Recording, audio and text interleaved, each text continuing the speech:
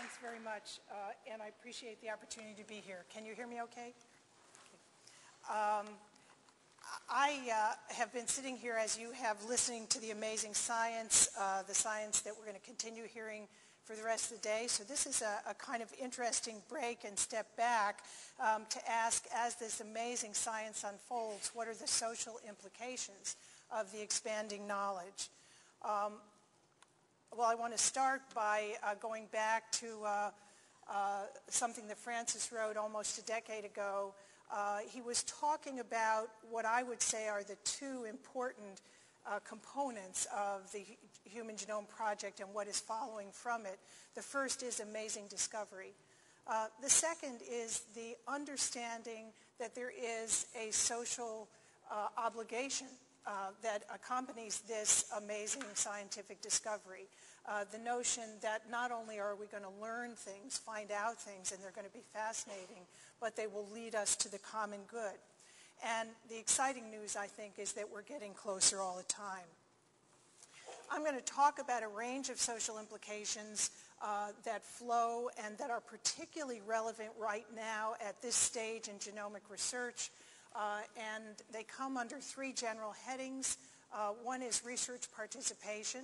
Uh, that is uh, a, an increasing number of uh, participants in research, human subjects in research, and the ways in which the research that's going forward may raise questions for them. Uh, non-medical uses of genomics, and I'm going to focus particularly on the implications of genomics in law enforcement.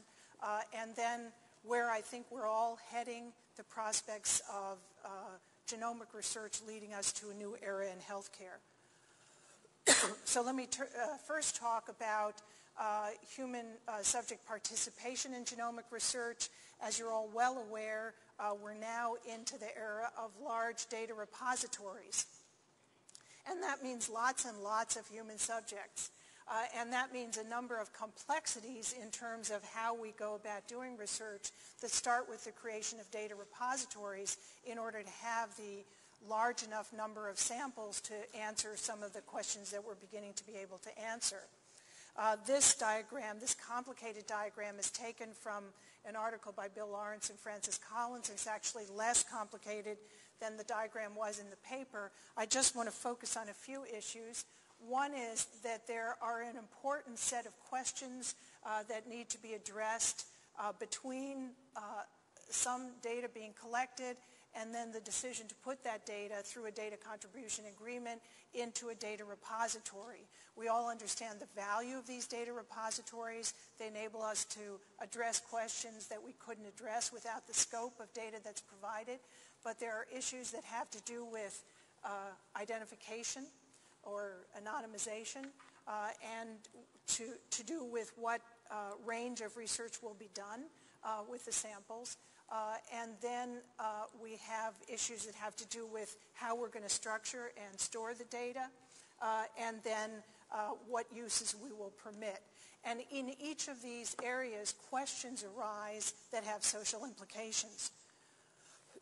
in general, um, there are, um, uh, these are the set of reasons or a set of issues that we need to think about in terms of concerns for participants, concerns about participant safety, uh, concerns about the broader implications for participation.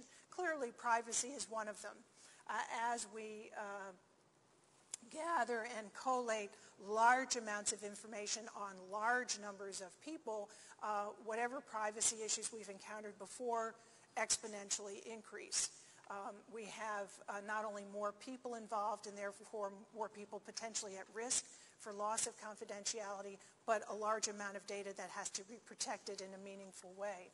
Um, we have non-medical uses of information, and it's partly because we have increasing non-medical uses of information that we can raise some concerns about this research. And I'm going to focus particularly on law enforcement implications and research on questions that aren't strictly medical. Uh, but I will also say that the whole notion of identity and what it is is likely to be impacted greatly by our increasing genomic knowledge.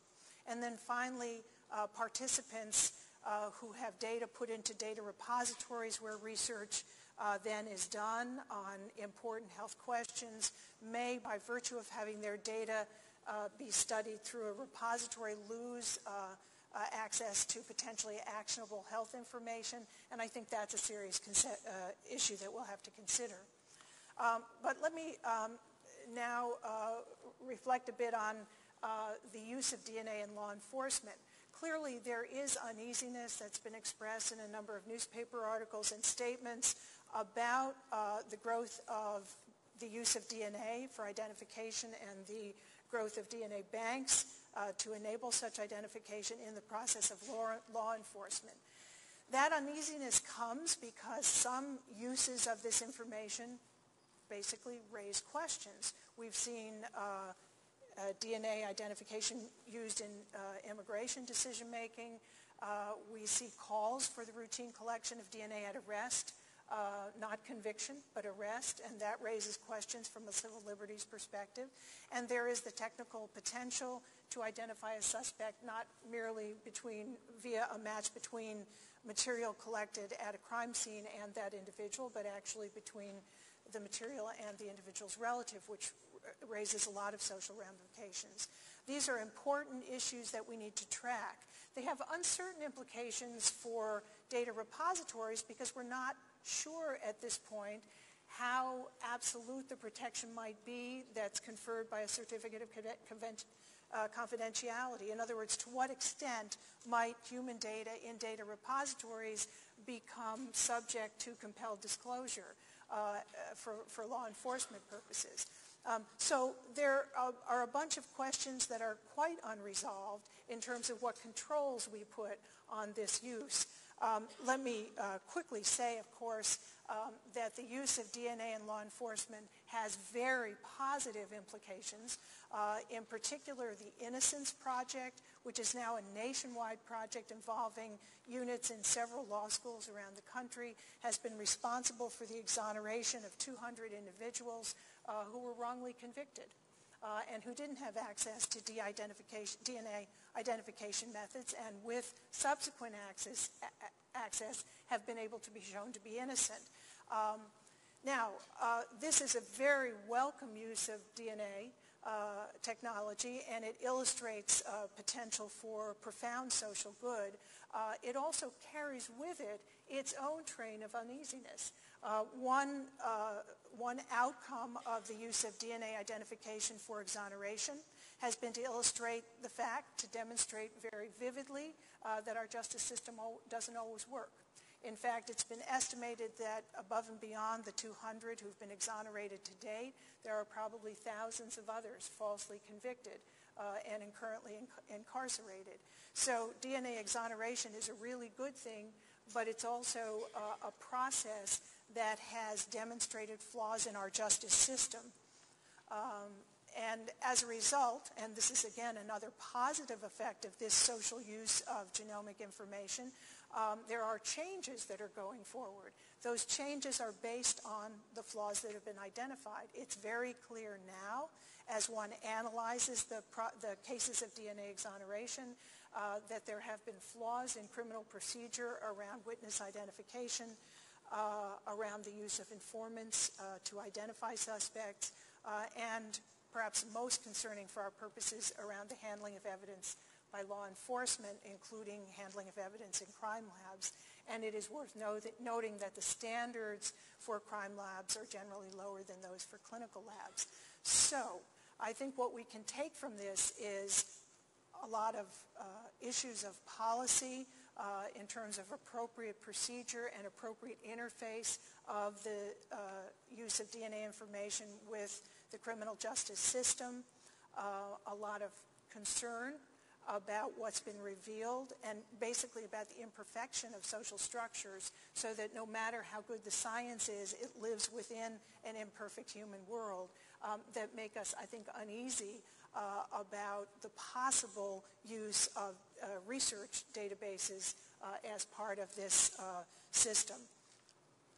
Uh, clearly, there's another uh, issue in terms of what we might call um, social uses or non-medical uses of DNA information that we've seen uh, a lot of publicity about, and I'm uh, showcasing in my slide here two, uh, two particular case examples that have received a lot of media attention, uh, and that is the potential that genomic research will cause offense. Uh, in both of these examples, uh, I think we have situations in which researchers were using genomic data with very good intentions. Uh, they were doing what scientists do. They were trying to answer questions that arguably had scientific interest. Um, in one case, the Havasupai case, uh, there was the claim uh, that blood samples taken for research on diabetes um, were then shared with other researchers and used for all sorts of questions that the Havasupai tribe found offensive and certainly would not have okayed. Um, one of those was uh, migration patterns. Uh, another was patterns of intermarriage within the tribe. Um, and uh, as the article here shows, a huge lawsuit was brought to bear. Um, the first uh, judgment has gone against the tribe. It's now on appeal. Um, it's gone against the tribe for a very understandable reason, which was the individual consent form was pretty vague and would have appeared to allow a lot of different kinds of research. Um, but the tribal procedure that okayed the research was clearly focused on uh, health issues of concern to the tribe. Um, the message here is strict legalities probably don't address all of the ethical concerns. We do have to be concerned about what participants want us to do with their data, what questions they would like their data to be used to answer. This is, we're not in an era, I think, where we can say scientists know best about what questions matter. In fact, we can't do the research without the participants' participation. We need their samples, and we need, as a society of researchers and others, to pay attention um, to what researchers par- what research participants want to contribute to in the way of research questions. The other example, uh, the example where studies of uh, selection of a polymorphism uh, led to certain conclusions that probably the science couldn't support um, about uh, potential differences in evolution of brains. Um, illustrates uh, also the social context in which genomic research occurs. Uh, genomic researchers really can't just think about the narrow uh, questions defined by genomic research, but the broader social implications of, of their research. Let me now talk uh, about a very specific issue um, that has to do uh, with uh, decisions we make in data repositories uh, because it speaks to another way in which I think there's an interesting uh, sensitivity that uh, around uh, participants' concerns, and that is between anonymization and de-identification. Anonymization has been used for a long time um, as a way to take a data sample that's identified uh, and, and use it for a purpose, a, a, scientifically valid purpose that wasn't previously anticipated. This is a really crucial issue because now in this genomic era, we can see loads of ways in which data that's been uh, already collected for another purpose could be applied to a new purpose that couldn't have even been anticipated at the time the data was, uh, was collected. and the idea is that with anonymization, uh, you can do this ethically. Uh, you, you, you guarantee that there'll be no linking back to the individuals who gave the samples. Um, but there are problems. Uh, as Dr. Gibbs and others have pointed out, um, uh, in fact, um, anonymization is no longer an absolute process. We used to think that we could do it absolutely. We now know that we can't. Uh, and that's true not only because of the amount of genomic data we're collecting, but also as we collect large genotype-phenotype databases, even the um, complexity of the phenotypic data may allow some degree of identification. Um, also of concern, and I think this is very relevant to the Havasupai case, uh, if you don't remove ethnic identifiers, you have the potential for group harm. Clearly, uh, researchers were interested in using the Havasupai samples to study migration because they were labeled as Havasupai, uh, and that made them interesting. But from the tribe's point of view, it also resulted in data that could be linked directly back to them, which they did not want to have linked directly back to them.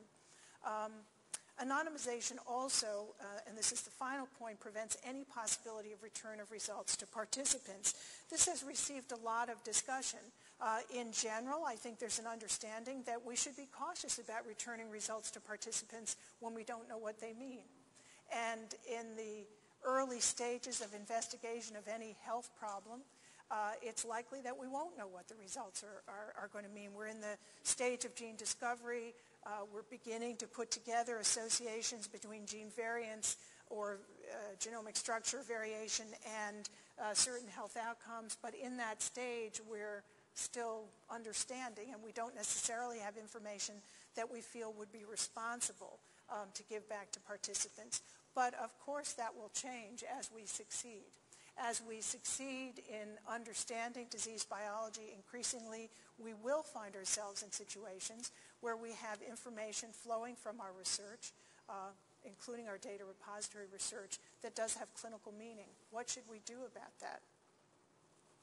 Well, uh, Hank Greeley has uh, just written a very interesting uh, uh, discussion of these issues, and I think he asks us in a very important way to think very seriously about this issue. In fact, in his words, the choice not to return clinically meaningful results seems, at least in the extreme situations, immoral, possibly illegal, and certainly unwise. And his example is research that finds a deleterious MSH2 mutation. This is clearly actionable genomic information, no question. Someone who knows he or she has that mutation ought to be having aggressive colon cancer screening starting from the early 20s, something we would not offer to a person who didn't have that uh, genetic risk. Um, the question, of course, is uh, how often are we going to find that kind of information that's so significantly actionable uh, that we uh, create a situation where researchers may have an obligation.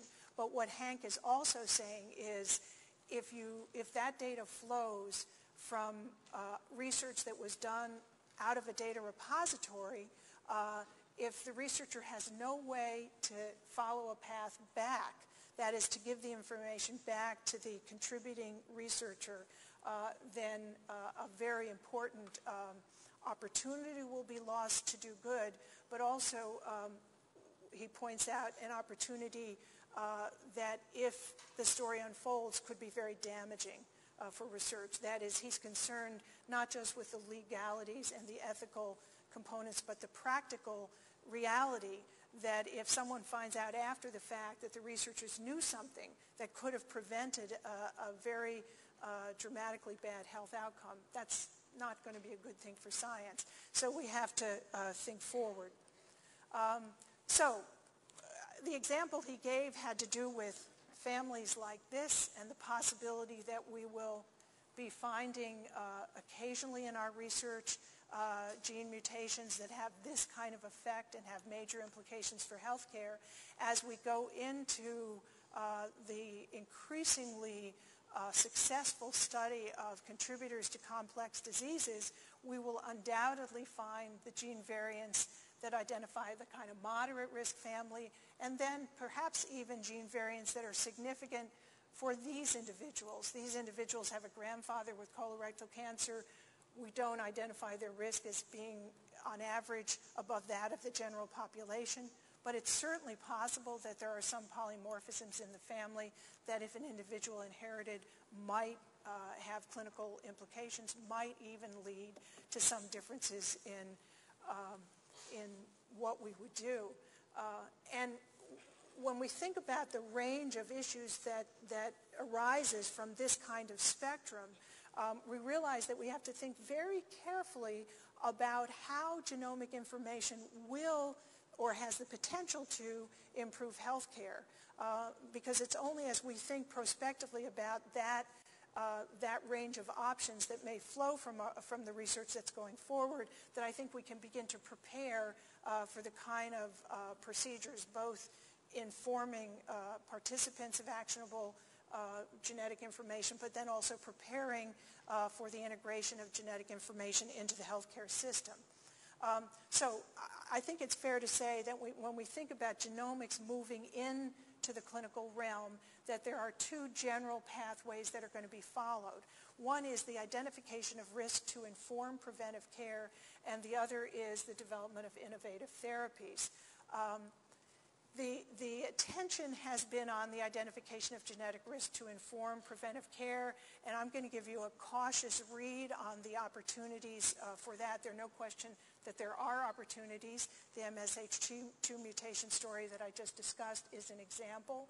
Uh, I think those opportunities may not be as unlimited as is now being uh, um, uh, projected, and that means we have to think very carefully about that use of genomic information. And then clearly we hope to move on uh, to the stage of innovative therapy. Um, so I'm going to use this uh, particular paper. It was one of a, a, spate of papers that have come out recently on uh, gene variants associated with age-related macular degeneration uh, to illustrate a point in the complexity of using genetic information as a risk predictor in clinical settings. Uh, this particular paper uh, looks at uh, genes, three genes, and several variants in these three genes that are related in one way or another, either by increasing or decreasing uh, to risk of age-related macular degeneration. And these genes encompass the two biological pathways that we now know are involved, uh, uh, angiogenesis and the complement pathway.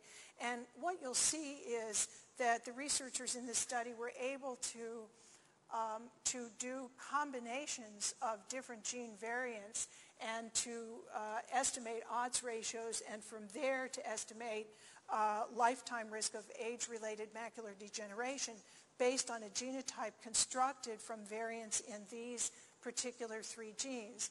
And they are showing that we can do exactly what is hoped, uh, which is that we can identify some individuals who are at very high risk of age-related macular degeneration.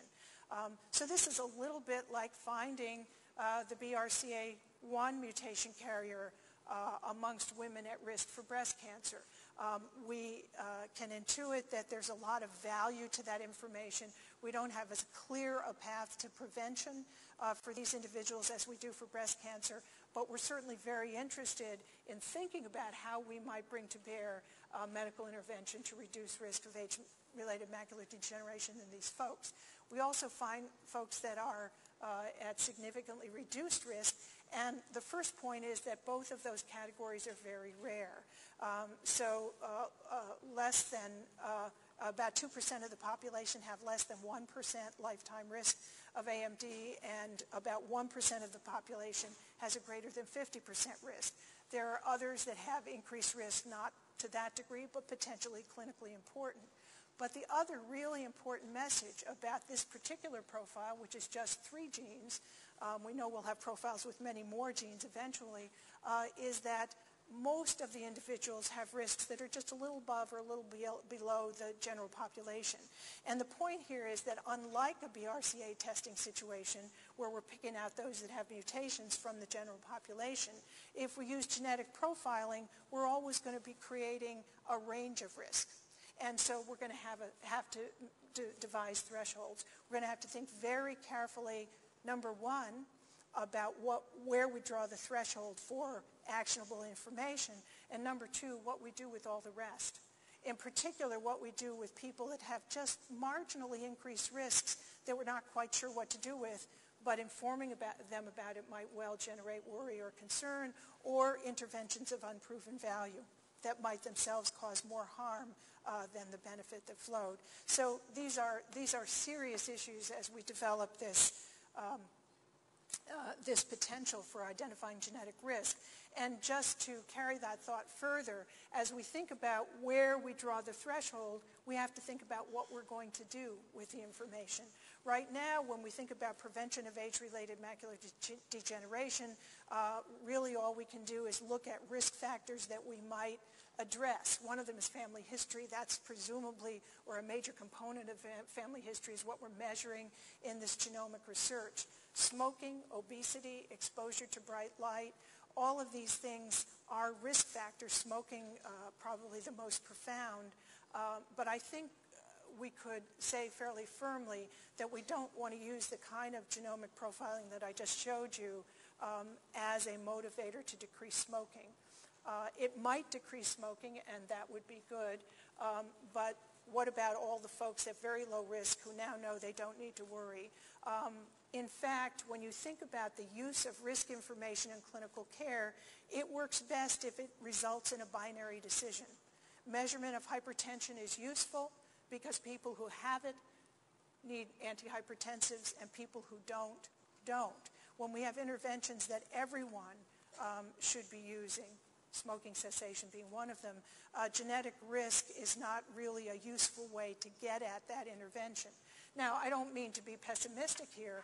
Uh, in fact, I'm very optimistic that the understanding of disease biology that is flowing from this genomic research on AMD may well lead to new ideas about prevention, at, at, which point it's possible that genetic risk profiling will be useful.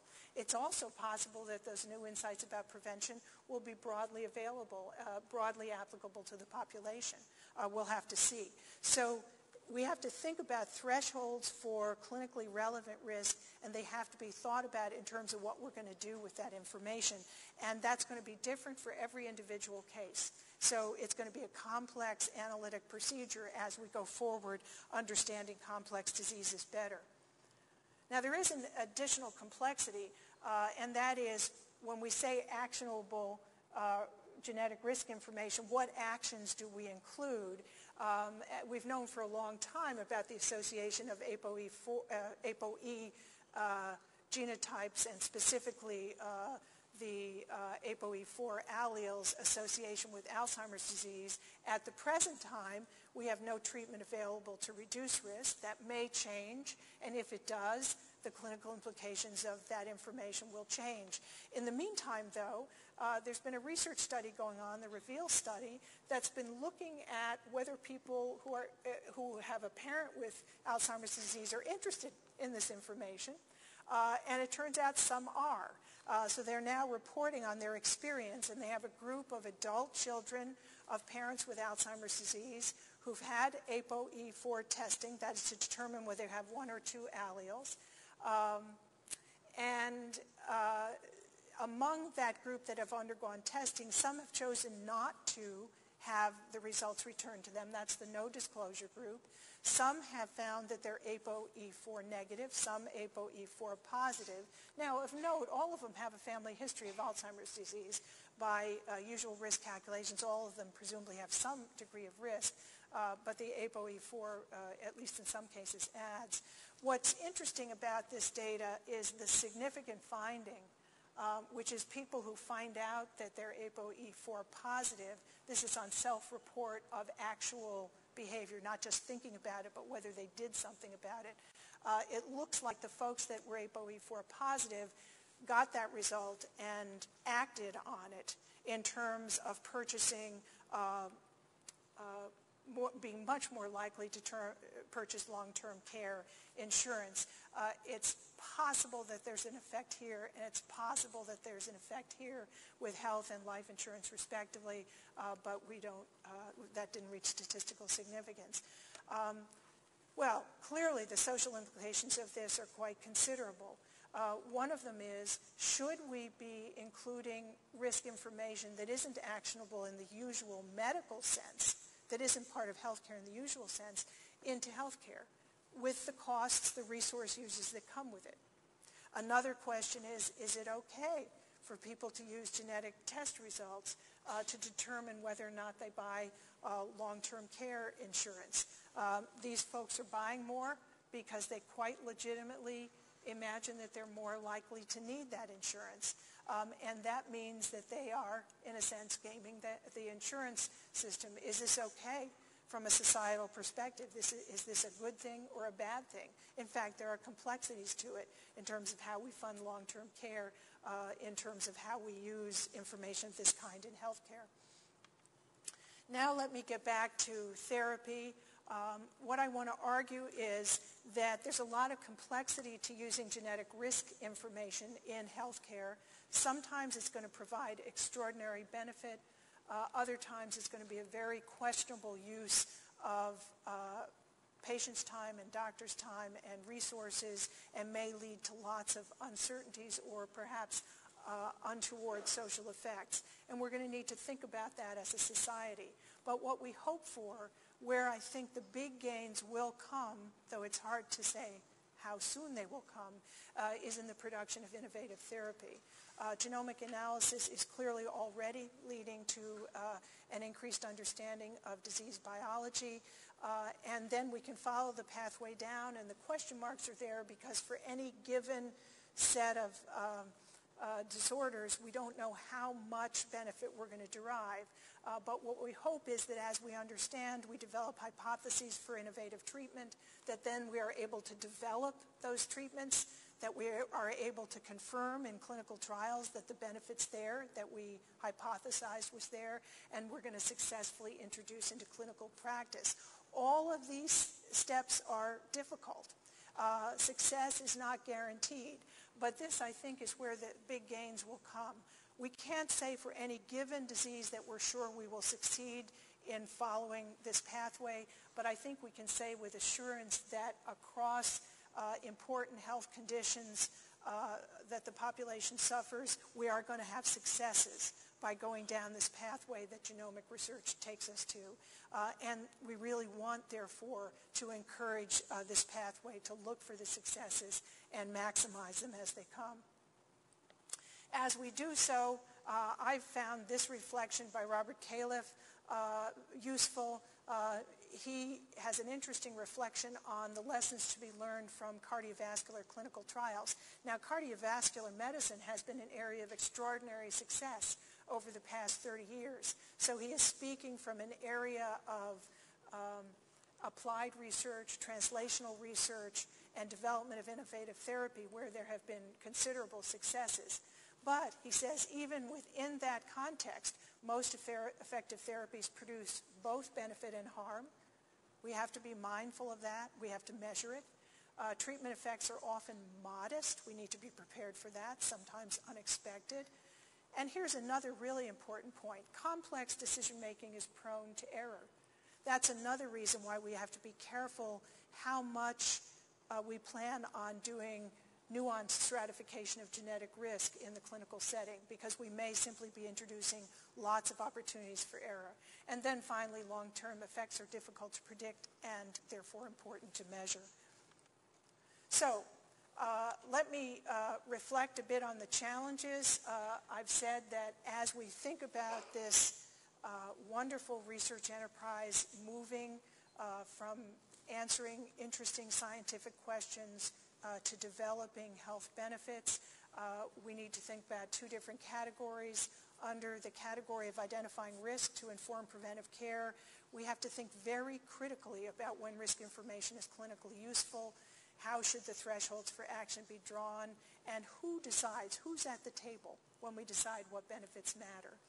When we talk about development of innovative therapies, I think we have uh, serious work to do in determining what incentives and regulatory systems will both enhance innovation and make sure that the products that come to market are safe uh, and in fact validated to do what they uh, claim to do. Uh, we also have an ongoing ethical concern in our society. How do we assure equitable access? I would argue that this concern has particular salience uh, for the world of genomic research because of the extraordinary public support uh, that has gone into the research and the large numbers of research participants now and in the future uh, who, who will help us to get there uh, to the benefits that we want to achieve.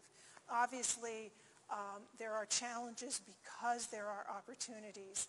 Uh, this is a, a, glorious moment in genomic research, and it's only going to get better uh, unprecedented opportunities to understand serious health problems, uh, molecular tools that uh, look like they will be important aids to developing new therapeutics. I want to emphasize the last two bullets, though. Uh, I think this is also a moment where there's extraordinary opportunity for interdisciplinary collaboration. Uh, as the science goes forward, uh, the policymakers, the legal scholars, the ethicists, um, people involved in health service and health resource decision making should also be at the table thinking about this together. Uh, um, all of the, quote, ELSI folks can't do a very good job if they aren't well informed by the science, but I think we all do better if we work together. And I will say that's a proud tradition of, uh, of genomics research, um, that we try for that. Um, I think there's opportunities to do more and to do it better. Uh, and I think as we do that, we need to create meaningful opportunities for societal deliberation uh, because some of the opportunities involve serious trade-offs. Uh, how much loss of privacy to get certain gains, uh, how much exposure to genetic risk information or, in order to gain certain health outcomes. And these are things that uh, need to be decided together within society, and that's a methodologic problem. How do we do that? Um, I'll just end with acknowledgments of all the wonderful people in my center uh, and our funders, the National Human Genome Research Institute and the National Institute for Child Health and Human Development. Thanks.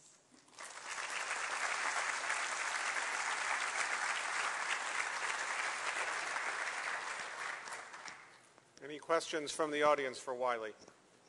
I'll start with one. Can you maybe, or Richard? And I'll get one. Okay. Um, thank you, Wylie. Uh, I have one of those kind of alarmist questions.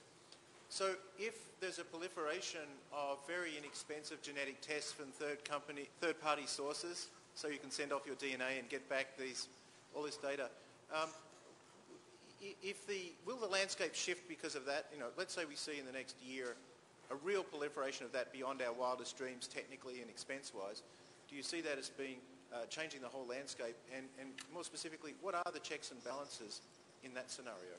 So you're talking about proliferation of genetic susceptibility tests that then get um, marketed direct to consumers? Yes.